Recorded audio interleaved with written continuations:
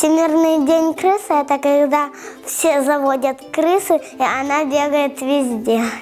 Ну, его придумали, чтобы ловить крыс. Крыса – это как мышка, ну, маленькое существо, какое едят кошки, и оно крадет сыр.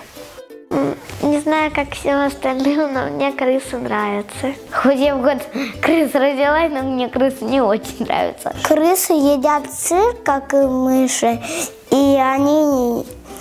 Они красивенькие, миленькие, маленькие, хорошенькие, быстро бегают, пушистые. Они ходят по подвалам, по чердакам, они капец какие грязные, лохатые и серые.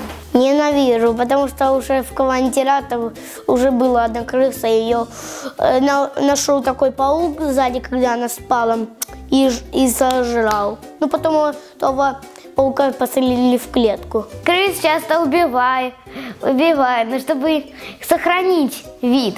Если летучую мышь, тогда могут съесть и крысу, если пожарить.